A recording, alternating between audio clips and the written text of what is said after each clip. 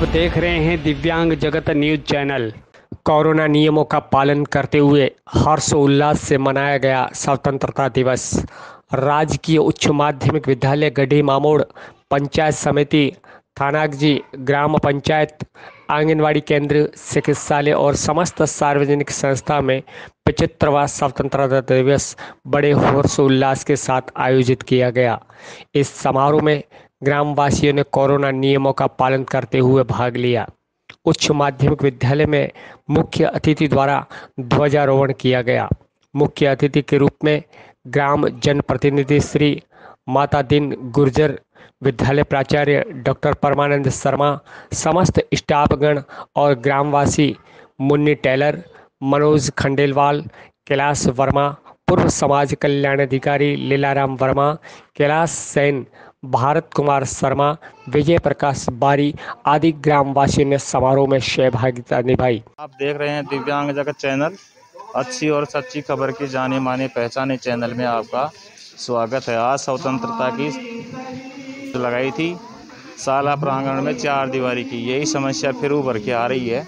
हम आपको आज प्रधान अध्यापक जी से सीधा बात कर रहे हैं। संबोधन बहुत ओजस्वी और भाषा शैली, साहित्यिक हिंदी का प्रयोग किया। दिव्यांग जगत इस माध्यम से एक लाइन बोलना चाहेगा।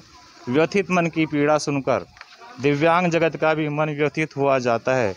प्रांगण में कैसी कैसी समस्याएँ आती हैं? क्या ये ग्राम विकास समिति इसको जान पाएगी और आगे बढ़ाएगी? नमस्कार, सर। आप अपने बारे में, स्कूल के बारे में इतना अच्छा बोल रहे थे। आप गाँव वालों से क्या अपेक्षा रखते हैं? सबसे पहले मैं दिव्यांग जगत का अंत से आभारी हूँ।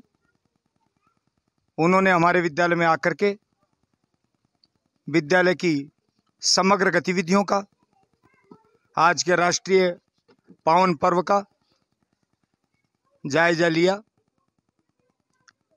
और ये विद्यालय गौरवान्वित है कि यहाँ पर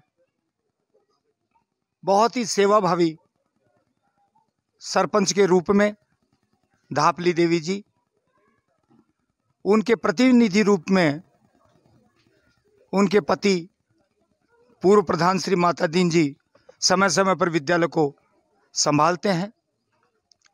विद्यालय में चार दीवारी का अभाव है। उस अभाव के लिए हमने समस्त समुपस्थित नागरिक महानुभावों को, ग्राम पंचायत को तथा समाज सेवी अन्य संस्थाओं को अनुग्रह किया है। विद्यालय प्राचार्य डॉक्टर परमानंद जी ने समस्त ग्रामवासियों और राज्य व केंद्र सरकार से विद्यालय की सुरक्षा को देखते हुए चार दीवारी बनवाने का विनम्र आग्रह किया और प्रतिभावान विद्यार्थियों को पारितोषिक वितरण किया गया। आंगनवाड़ी कार्यकर्ताओं का सम्मान किया गया। आंगनवाड़ी कार्यकर्ताओं में विशेष रूप से श्रीमती बबीता रानी को सम्मानित किया गया। इन्होंने विद्यालय में बालकों को शिक्षा से जोड़ने का महत्वपूर्ण कार्य किया। कार्यक्रम के अंत में लड्डू और बर्फ़ी का वितरण किया गया। सभी ग्रामवासियों से निवेदन किया गया कि बालकों को शिक्षा से वंचित न करें और सरकारी संस्थाओं में सरकारी सुविधाओं का लाभ उठाएँ। रिपोर्ट भारत कुमार शर्मा, दिव्यांग जगत, अलवर।